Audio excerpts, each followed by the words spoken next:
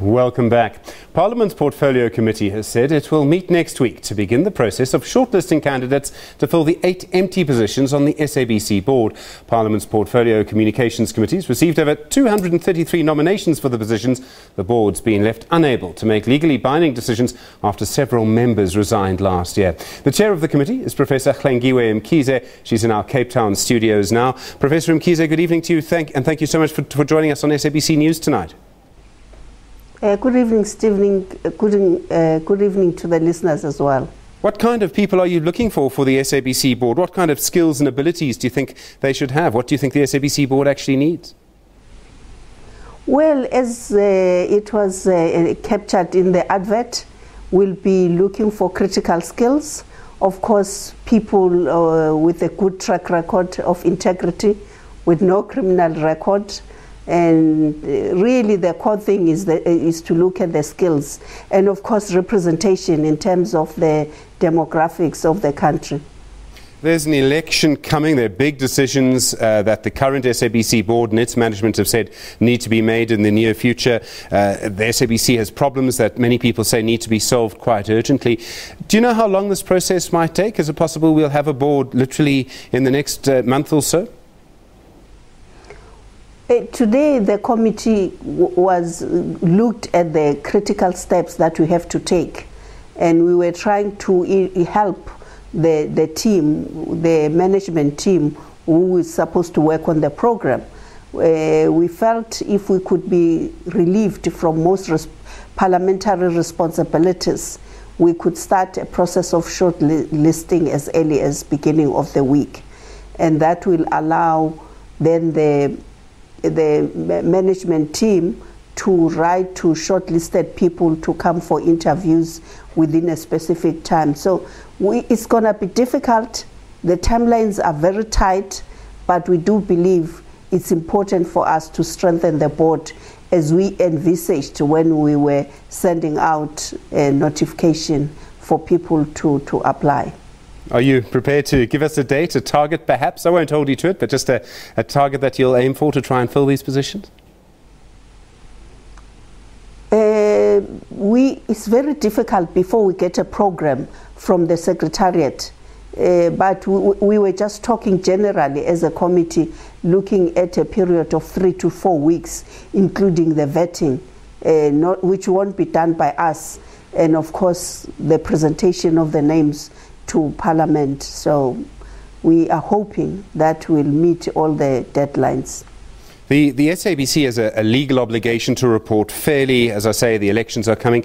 Are, are you able to, to give us an, a, pro, a, promise or perhaps an assurance that the people you'll appoint to the SABC board, they'll help the SABC to remain independent and impartial? Yeah, that's one of the things that we've been talking about with the management team, that often that question has not been probed enough, but it's critical given what we have learned uh, sometimes emanating from these commissions that sometimes journalists uh, could be bribed and generally some leaders, public leaders having difficulties with journalists covering certain stories. And so we're saying it's one area which we have to find a way of probing because if we fail to do that, it can comprom compromise the entity completely, especially in the context of looming uh, elections where they're supposed to really report, uh, inform uh, citizens of this country fairly and accurately whatever they need to know before they make up their mind about elections. There's also the problem of the corporation's finances at the moment. Are you, like everybody else, I think, expecting the finance minister to announce a, a loan guarantee in the budget tomorrow? Do you have any, any hints or secrets you can give us about that?